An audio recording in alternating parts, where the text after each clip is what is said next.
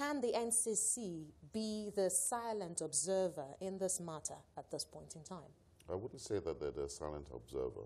As I said last week, uh, there were discussions uh, in between um, MTN uh, Group CEO, who was there, uh, and uh, the EBC. Uh, even I myself, I've put in a, a, note of caution towards how we've handled this situation with one of the largest investors in our sector. Um, so NCC I believe, would like uh, CBN and the AGF to resolve this amicably with the MTN. Um, and yes, of course, if it uh, not able to be resolved amicably, um, we don't hope that scenario will play out, uh, they will have no option but to intervene. You have been speaking with some of the stakeholders. Is the Association of Telecoms Companies of Nigeria, which you chair, taking a stand on this matter? Uh, well, we've uh, made statements to, to uh, really uh, indicate to government that really the moves that they're making may actually impact uh, further investments coming into the sector. Um, and it's really clouded around the issue of repatriation of uh, funds. Uh, and I think that most investors, as you've seen lately, I mean, the NSE has taken a dip. Uh, not to say that it's, there's a correlation, but there's an indication that there is nervousness around the issues around CCIs and uh, repatriation of funds out of Nigeria. So processes are indeed looking a bit more uh, cautiously detailed or deliberate now, as opposed to when tempers were flaring initially when the, all of this matter came to the fore. What is your assessment of the response by investors to your sector?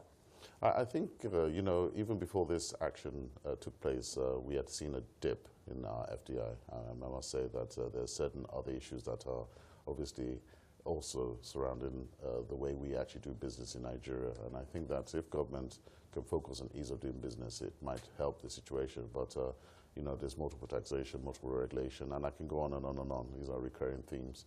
So it really needs uh, that there is a discussion uh, really around how government views the digital transformation and how they want to take that forward because the telco sector is fundamental to that vision being realized multiple taxation, you mentioned whether or not we want to put them together. This is a lump of fines for MTN. Talk about the $8.1 billion funds they're being asked to bring back, uh, the 2 billion, uh, naira, uh, $2 billion rather tax that they have to pay over the last 10 years according to the AGF, and they are still, they've, they've only still paid 50% of the fine by the NCC.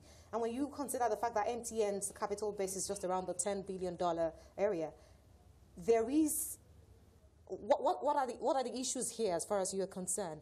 Is this a question of should they pay or can they pay? Can they survive the heat? Should they stand the heat? As I said, uh, you know, they've gone to court to protect their assets, and I think that's the right move by them because they've got to basically have those discussions with government, the government officials that there's differences in, in interpretation, I believe.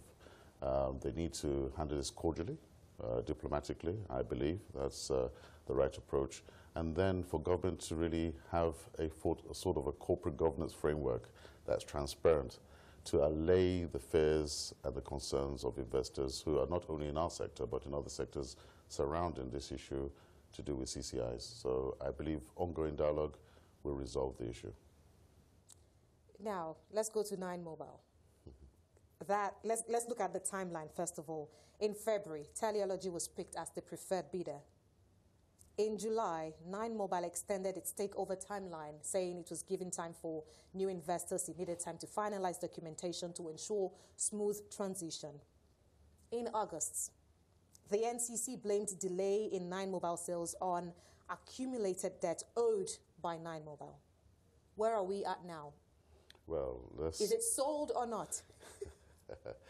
it has been sold. It has been sold, but obviously there are processes and procedures that have to be uh, gone through before the acquirer can gain their assets. And in the case of Nine Mobile, um, NCC has given their approval. It's, that's official. Uh, and now they're waiting for SEC approval. So it might seem like a long, drawn-out process, but it is almost there, and I'm sure that uh, you know they'll be making an announcement that is positive for all investors, including yourself, that uh, that's behind them now. Now, while we wait for that, the NCC is back to we still have to do due diligence. What are the steps that should normally be taken for a takeover of this nature?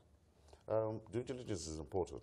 Uh, It was highlighted months back. That's correct, and I think that uh, there were some concerns raised within uh, NCC, and that's only right. That shows you that the due diligence is obviously a very detailed due diligence. Um, and they've, well, in my estimation, they've concluded that because they've given them a, uh, an approval, and that approval has been received by uh, Teleology. So are we likely to see trigger reactions to, uh, to the Nine Mobile uh, takeover now from the F, uh, M, uh, MTN, FG, telcos, No, I- I- banks I, think, off? I think these are just uh, the norm in a very volatile and high-risk environment. As I say, the environment is still has many opportunities, but I guess any investor has to quantify and qualify the risk that they're prepared to take. Because, as I said, government relationship building is very, very important in this environment. Uh, you need to actually strengthen that to be able to go through these uh, what can be sometimes an unpredictable uh, environment. So um, I believe that the MTN uh, issue will uh, come through. Um, there will be a settlement or a negotiation um, that will lead to an amicable resolution to this. Uh, and Teleology has nothing to fear.